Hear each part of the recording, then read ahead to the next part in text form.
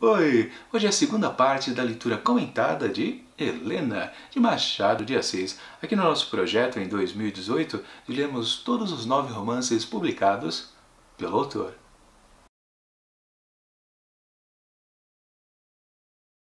Claro que vocês lembram que o bloco anterior de capítulos terminou com dois bons ganchos aqui para a história. O primeiro, claro, aquele mais misterioso, quem será que Helena ama e não confessa de jeito nenhum para o seu irmão Estácio. E o outro, claro, é a chegada do amigo do Estácio, o Mendonça, que vai com certeza complicar um pouquinho essa história. Ou não, né? Também, é, talvez o Machado de Assis, que já acostumou a gente com boas reviravoltas em suas histórias, Talvez dessa vez ele tenha deixado mais ou menos. Se você for ver, não mudou muita coisa nesse segundo grande bloco de história, embora seja muito bom.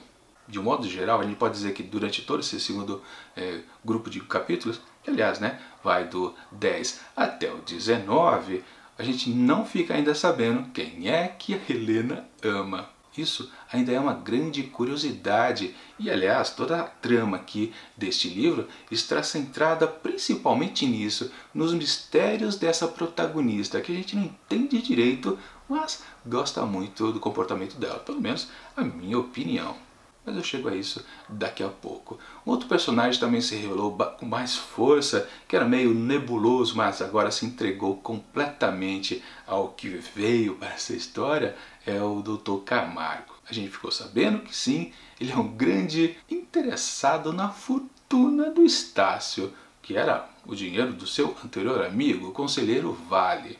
E, é claro, casamento de Estácio com sua filha Eugênia.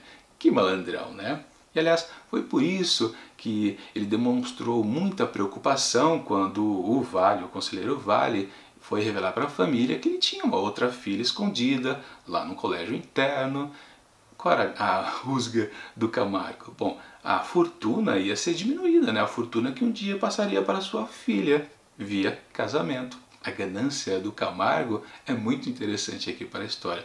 Ela está tocando a história para frente. E por outro lado, uma coisa que ficou meio parada foi esse suposto amor incestuoso de Estácio para com a sua irmã. E também se é que ela corresponde ou não a ele. Mas vamos então um resumo dos acontecimentos. Primeiro, com Camargo. Quando ele entrou aqui na história, o Machado de Assis deu uma grande dica para a gente, ou talvez um grande despiste. Ele colocou Camargo e Eugênia para valsar durante um bom tempo numa das festinhas que acontecia lá na casa de Estácio. E a gente com certeza ficou com uma pulga na orelha. Peraí, será que o amigo está chegando aqui a história para atrapalhar o relacionamento de Estácio com Eugênia?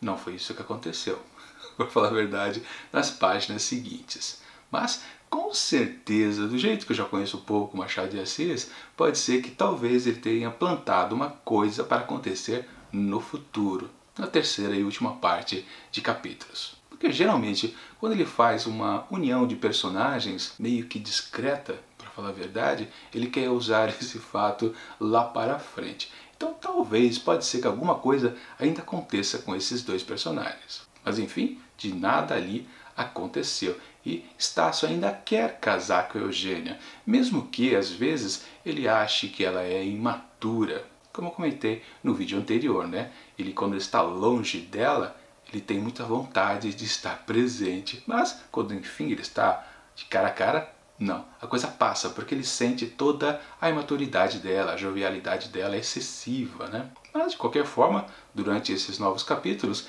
ele mantém a decisão de casar com a mocinha mesmo que entre linhas ele sinta um ciúme da sua irmã Helena, que é na via da coisa do amor incestuoso.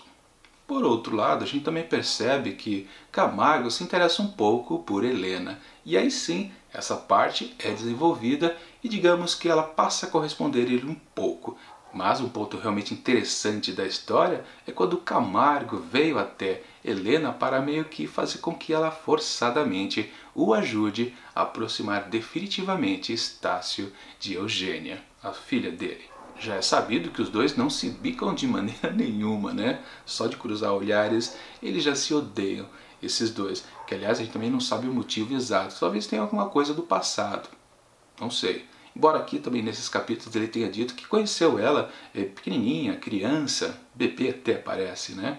E ela até gostou disso, por um lado, né? Mas não deixou de meio que odiá-lo ainda. Mas a questão é que ele meio que força ela a fazer essa união do casalzinho através de uma chantagem. Ele faz uso daquela informação que a gente está meio nebulosa para nós leitores, que é aquela casa que todo dia a Helena vai visitar a cavalo, lá distante, aquela casinha que tem uma fita azul pregada eh, em algum lugar da casa. Ali há algo muito misterioso. Ela, inclusive, ela chega aí lá sozinha com aquele escravo, o Vicente, e também fazer uso dela para uma coisa mais é, impactante na história ainda, que foi um presente que Helena dá para Estácio. Nós vamos por partes, né? Por causa dessa chantagem, sim. Helena faz de tudo para, enfim, juntar os pompinhos. Todas as artimanhas de, de discurso que ela tem.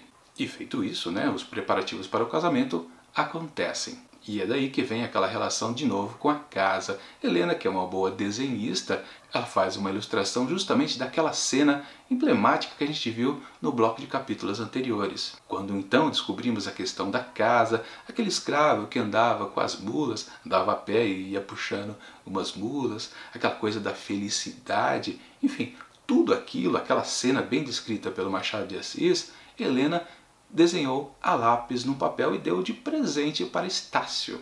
Algo bem significativo para ela para ele também, né? Por causa daquele momento, mas com certeza para ela, porque sim, aquela casa tem algum mistério. Quando ela foi lá, né, com o Vicente, o escravo, ela não encontrou ninguém.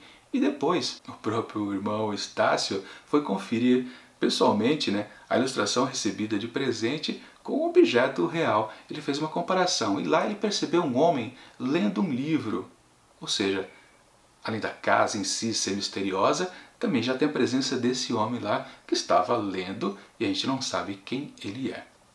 Doutor Camargo sabe, com certeza, por isso fez uso da chantagem. Como um todo, é um grande mistério que para essa história mantém bastante interesse, com certeza. Bom, dito isso, foi mais ou menos o que aconteceu praticamente na metade aqui desse texto. E depois aconteceu um incidente, uma tia da Eugênia, aquela que deram uma joia para ela lá no comecinho da história, ficou doente, está para morrer. E Camargo, claro, né, sempre preocupado com as heranças né, que ele possa é, receber tempos depois, né, se ele já está interessado na herança de, de Estácio, imagine de uma parenta né, que a Eugênia possa receber talvez mais rápido ainda. Né? com certeza ele está mais interessado e levou toda a família para lá. A mulher, a Tomásia, Eugênia e ainda puxou também o Estácio para eles, lá para aquela viagem. Estácio foi para lá com muito contragosto, mandou uma grande carta para Helena também. Muito interessante essa carta, quase uma declaração de amor ali, meio nas entrelinhas. Né? Mas o curioso é que Machado de Assis, quando mostrou seus personagens indo para essa futura defunta, lá a parenta da Eugênia, ele já disse que dali, depois daquela viagem, tudo mudaria aqui nesta história. Só que o que tudo mudou nessa história foi o elemento Camargo, né? Que, claro, já estava interessado um pouco em Helena, e Helena cismou de uma hora para outra, sim, casar com ele. Consultando até o padre Melchior, teimou porque teimou. Acontece que o Camargo, que é amigo do Estácio, mandou uma carta avisando que ele estava para se casar praticamente com Helena, ele muito apaixonado por ela, sabendo, claro, que Helena não o amava, mas era coisa dos costumes lá daquela época, né? A mulher exatamente não podia, não precisava amar o homem, ela podia acabar gostando dele ao longo do casamento. É uma coisa natural para a época. Coisa que também, sendo a Helena uma mulher meio moderna, meio não, muito moderna, né, aceitou muito facilmente isso. Que aliás é justamente o que Estácio não gostou. Mas peraí, ele sabe que ela tem alguém que ela gosta realmente, que foi o gancho do final do primeiro bloco de capítulos. Que essa pessoa, ele não sabe. Se ele acha que pode ser ele mesmo, não sei. Mas contudo, ele voltou às pressas lá para o Rio de Janeiro justamente para impedir esse enlace de Helena com Camargo, porque ele, ela, ele sabe que ela não ama Camargo, mesmo que seja um grande amigo dele. Mas é disso que temos grandes cenas, grandes diálogos e grande manifestação por parte do narrador aqui dessa história de quem é Helena, da maturidade dessa personagem, uma grande personagem, diga-se de passagem. Talvez uma das melhores protagonistas que o Machado de Assis escreveu até agora nesses livros que a gente está lendo aqui no projeto. Não tenho dúvida que é uma das mais densas já mostradas pelo autor. E vale lembrar, né? Ela é apenas uma moçoila. Ela tem de 16 para 17 anos, mas tem uma maturidade muito interessante, melhor do que muitas personagens já mostradas em outros livros, já mais maduras, na casa dos seus 30 anos, quase 40, que sempre eram mostradas como é, personalidades meio dúbias, né? A gente não sabia direito por que elas mudavam muito de opinião. Aqui não, Helena está é, muito mais estruturada do que as outras. Gosto muito desse personagem realmente. Já o Estácio é meio mais parecido com outros personagens que a gente já viu realmente em outros livros. A gente não sabe direito a quantas anda a cabeça dele. Né? Enfim, ele voltou para atrapalhar o casamento dos dois, Camargo e Helena. Conseguiu durante um tempo, depois ele acabou eh, percebendo que estava cometendo um erro, principalmente porque o padre Melchior ficou batendo muito é, no pensamento confuso dele, estranho, né? Talvez o padre saiba de alguma coisa também ou tenha pressentido essa relação meio incestuosa entre os dois. Ainda não dá para saber, só nos restantes capítulos que vamos ter certeza. Mas o gancho que acabou aqui, esse bloco aqui de capítulos, foi que uma carta onde, escrita pela Helena, Estácio deveria enviar para Camargo pedindo que tudo se acertasse e ele abençoaria o casamento dos dois, não foi enviada por Estácio. E aí então, o único indício que talvez ele esteja fazendo tudo isso, não só por proteção a uma irmã, mas também porque ele realmente gosta dela. Não sei, a história está completamente aberta para o que vem a seguir nos próximos capítulos. Então já vamos combinar que o próximo lote de capítulos será do capítulo 20 até o 28. E se tudo der certo, eu posto o vídeo na próxima sexta-feira. Por enquanto, eu estou gostando bastante aqui da história de Helena, o livro, principalmente da protagonista, Helena. E também, claro, o Estácio é interessante. Ah, vocês perceberam, né? Eu consegui falar Estácio sempre, em todas as oportunidades, né? Eu falava outro nome lá no vídeo anterior, né? Enfim, conto com vocês para o próximo vídeo lá na sexta-feira com a terceira e última parte da leitura comentada de Helena de Machado de Assis. Mas enquanto esse vídeo não chega, eu deixo aqui do lado dicas de outras resenhas aqui do projeto de ler Machado de Assis, todos os romances dele, em 2018. E até mais.